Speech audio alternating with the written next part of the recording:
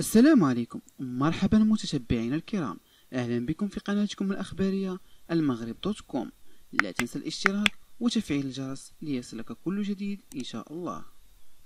هذه أبرز العناوين. لاعبو المنتخب المغربي بداوا بالالتحاق بالمعسكر التدريبي ابتداء من اليوم الاثنين والناخب الوطني واحد خليل زيتش يستدعي ثلاث لاعبين من المنتخب الرديف.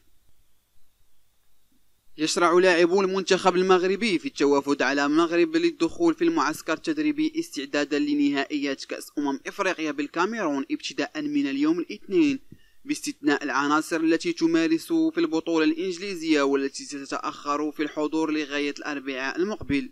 وقرر المدرب والناخب الوطني واحد خليل زيد ضم كل من بدر بانون لاعب الأهلي المصري وسفيان رحيمي لاعب العين الإماراتي ومحمد شيبي لاعب الجيش الملكي لمعسكر الفريق الوطني.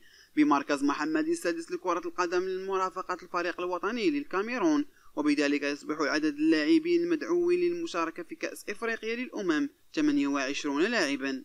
وعبر الرحلات الخاصة سيدخل اللاعبون المنتخب المغربي للمملكة المغربية في ظل استمرار إغلاق المجال الجوي في انتظار استئناف التدابير وحضور جميع العناصر الوطنية والتأكد بعد ذلك من إمكانية إجراء اللقاء الودي ضد المنتخب الرأس الأخضر في الواحد والثلاثون ذو جنبير الجاري قبل السفر إلى الكاميرون في الأسبوع الأول من شهر يناير المقبل.